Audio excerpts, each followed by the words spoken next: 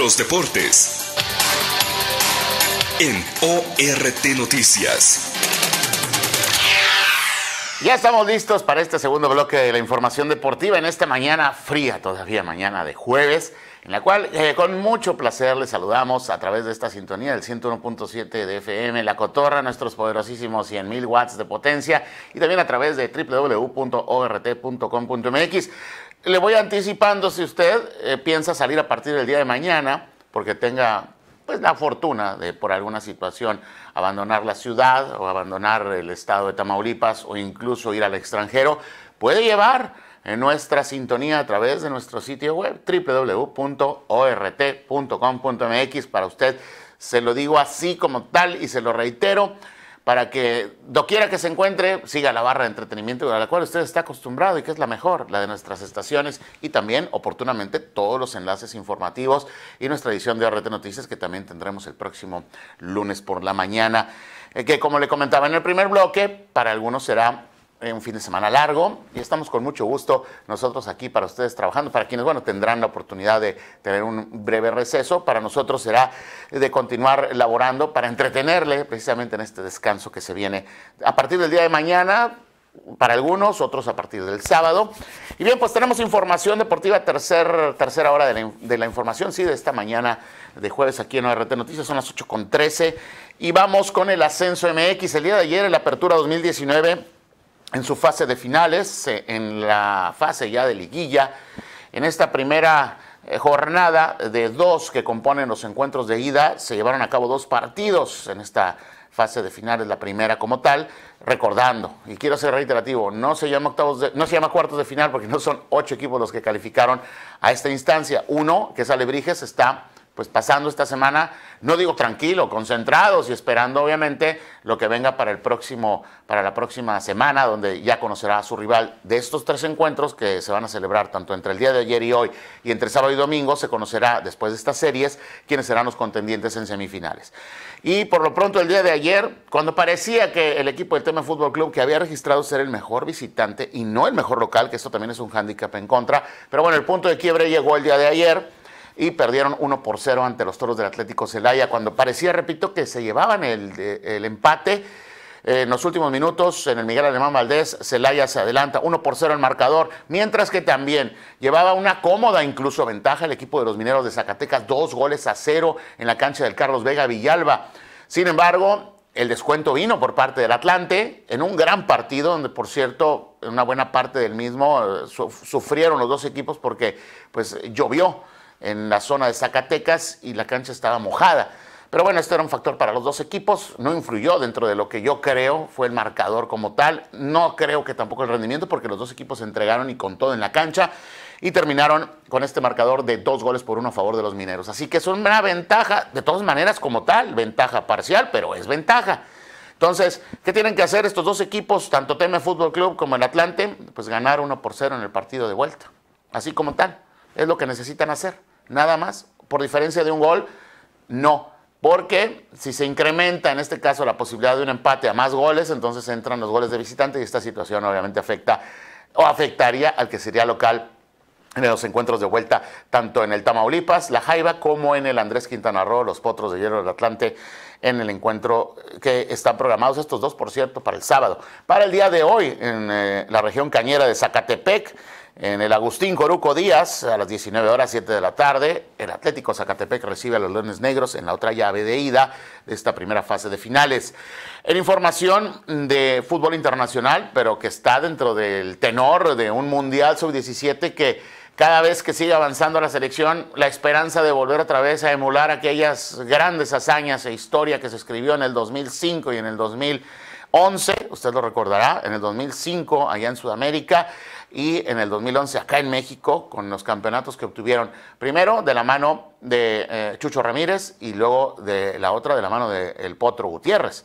Bueno, pues ahora con eh, Marco Antonio Chima Ruiz al frente, la selección sub-17 enfrentará a la una de la tarde con 30 minutos al equipo de eh, Corea de... Ah, no, perdón, al equipo de Corea no, al equipo de Corea fue el que vencieron van contra Holanda. Por eso es lo que le comento.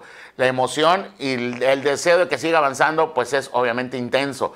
Pero la dificultad se muestra importante por lo que representa un equipo de Holanda que fue también eh, contundente en la primera fase, en la fase de grupos, y en lo que va de esta ya de fase de finales, después de haber jugado los octavos y los cuartos de final. Así que México Sub-17 está en semifinales, hoy a la 1.30 de la tarde, contra Holanda en el estadio Bezarrao.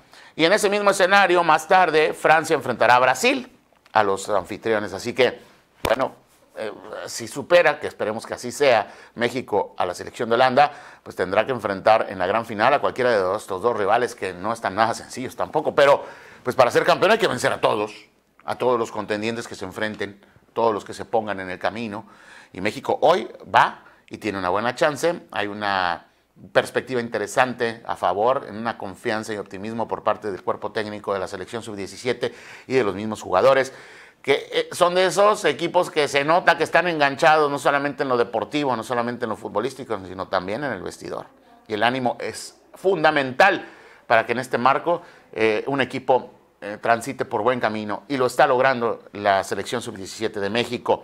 Avanza el reloj, son las 8 con 18 minutos y hoy hay actividad dentro de el tema de la Euro 2020 en el camino clasificatorio dentro de la fase número 9, la jornada 9 de 10 y ya algunos equipos pudieron estar consiguiendo su pase a esta edición del próximo año y los encuentros para el día de hoy pues son cualquier cantidad de ellos, eh, son un total de 7. Turquía a las 11 de la mañana enfrentará a Islandia, Inglaterra enfrenta a Montenegro, Serbia va contra Luxemburgo, Francia recibe a Moldavia, Portugal contra Lituania, y la República Checa contra Kosovo. Cierra la actividad Albania contra Andorra. Algunos partidos a las 11 de la mañana y el resto a la 1 de la tarde con 45 minutos tiempo del centro de México para mañana. Siguen todavía más encuentros de esta actividad de la eh, ronda clasificatoria rumbo a la Euro 2020. Por otro lado, Corre Premier se prepara para recibir a Gavilanes este sábado en el ámbito local. La filial del equipo de ascenso, Correcaminos Watt, que está en la Premier Serie A, que dirige Isaac Moreno, estará este sábado recibiendo a los Gavilanes FC. El Corre se encuentra entrenando tanto en el centro de, eh, en el Cefut, eh, en lo que se conoce como la Casa del Corre, y también en el Estadio General Viso Porras. Ayer lo hizo por la mañana. Hoy lo hace otra vez en el CEFUT, conforme a lo que tenemos de la información en cuanto al, calendario de actividades, eh, de la planeación y agenda de entrenamientos del equipo local. Y el próximo sábado recibe a Gavilanes de Matamoros, como le comento. Este encuentro ve una modificación en cuanto al horario. No será a las 17 horas, va a ser a las 11 de la mañana en el Estadio Marta Gómez. Se modifica ya de manera oficial este cambio de horario, pero sí será el sábado y repito en el martes para apoyar a las básicas del Corre que reciben a los Gavilanes este sábado. Importante porque Correcaminos va a buscar su cuarta victoria de la campaña. Eh, en esta que es la primera vuelta, solamente tiene tres triunfos, ocupa el lugar número dos en el grupo número uno, tiene 11 unidades. Así las cosas dentro de la actividad. También la Liga TDP tiene partido, pero será como visitante. Y en la agenda del día de mañana, este equipo de la tercera división del Corre, también tendremos detalles al respecto. Por otro lado, en más información, Hablando de la Liga Nacional de Baloncesto Profesional, hoy Correcaminos Watt Victoria tiene partido y será en el Marcelino González de Zacatecas enfrentando a los mineros. Este partido es a las 8.30 de la noche. Paralelo a esto habrá también otros encuentros, algunos arrancan a las 8 y otros a la misma hora 8.30 y el más tarde a las 10.15 de la noche, tiempo del centro de México porque se juega en Mexicali, los soles contra huracanes. ¿Cuáles son los otros encuentros? Astros contra Capitanes, Ángeles de Puebla contra Aguacateros, Laguneros contra Leñadores, Santos enfrenta a León, Plateros contra Fuerza Regia, los Libertadores en el Auditorio Arteaga enfrentan a Panteras de Aguascalientes y los Soles de Mexicali van contra los Huracanes de Tampico. Es la recta final previa al fin de semana del Juego de Estrellas, donde hay dos elementos de Correcaminos Guad Victoria que están convocados. Será Kennedy Jones y Dianye Mamadou. Este, por cierto, senegalés, que eh, tiene pues una estatura eh, respetable, 2.29 metros. Eh, también en cuanto al trabajo de defensa es importante. Destaca que es líder de rebotes en toda la liga, promedia 10.5 por encuentro. De hecho, lo decíamos en, el primer bloque, en el departamento de, individual de algunos de los jugadores clasificados como tal en relación al resto de los demás equipos en Correcaminos Guad Victoria hay algunos que encabezan, o si no, están en los primeros lugares eh, de estadística. Sin embargo, esto no se ha podido reflejar en lo colectivo. No ha podido Correcaminos Guad Victoria hilar triunfos que también en lo anímico le permitan eh, avanzar dentro del grupo, dentro de la conferencia a la cual pertenecen, así las cosas, donde por cierto, bueno, pues eh, estos dos jugadores estarán representando a la conferencia este en el juego de estrellas de la Liga Nacional de Baloncesto Profesional. Así están las cosas. Bien, pues como ya sabemos, va a ser en el Auditorio General Arteaga, la Casa de los Libertadores de Querétaro, este fin de semana. Bueno, el domingo 17 será el encuentro el domingo 17, el Juego de Estrellas. 8 con 22. Hasta aquí los deportes. Vamos a una pausa comercial a saludar a nuestros patrocinadores que también amablemente nos eh, acompañan cada mañana, al igual que usted.